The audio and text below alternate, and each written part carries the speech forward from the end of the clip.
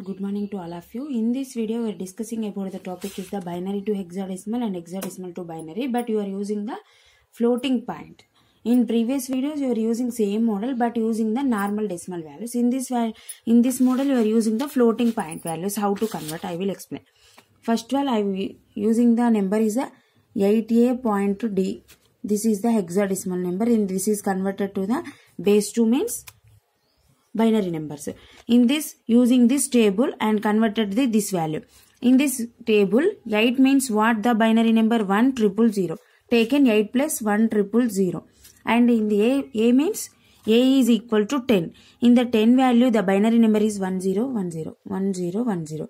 Point taken. D means D means 13. 13 the binary value is double one zero one. This is the binary format of this number. And I will take the another number. 7b point c. This is the hexadecimal number and this is the how to convert. In this 7 means what? The the table 7 value is the binary format is 0 triple 1 and b means b is equal to the 11. 11 means 1 0 double 1. 1 0 double 1 taken. Point c means what? c is equal to 12. 12 binary number is what? Double 1 double 0. This is the format of the binary format in this hexadecimal format is converted this binary format. And now i am converting to the now i am converting to the converted to binary to hexadecimal number. Hexadecimal number using the floating point. Same model but this is the decimal to binary and this is the binary to decimal. Binary to decimal the given point is a double one double one zero two. This is the binary format using the floating value. Same method in this binary format you are using. Taken double one double one zero. In this model you are written taken the four digit number. Left this is the right and this is the left. In this having the one one digit is missing.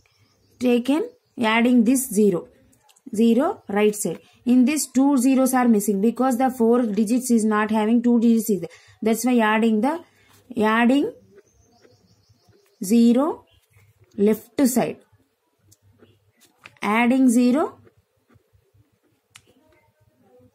right side.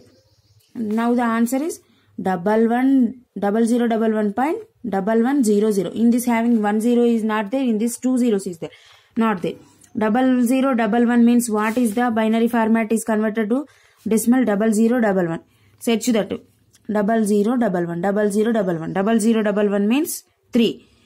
Decimal point three value is double zero double one. Point double one double zero means double one double zero. Double one double zero is where? Double one double zero is the 12 12 means c. Directly taken c. 3 point c. This is the hexadecimal number of this binary format and now i am taking the another example. And that is the 10.001 this is the binary format is converted to the hexadecimal number. Same as 10.001 in this left and left arrow and right arrow arrows are taken. In this four digits in this having the four numbers are there.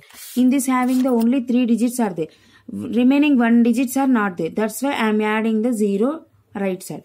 Point point after value adding the zero after the point and point before the value adding the before the values adding the zeros in this adding the two zeros adding two zeros left side. In this adding one zero right side. Because every number having the four digit number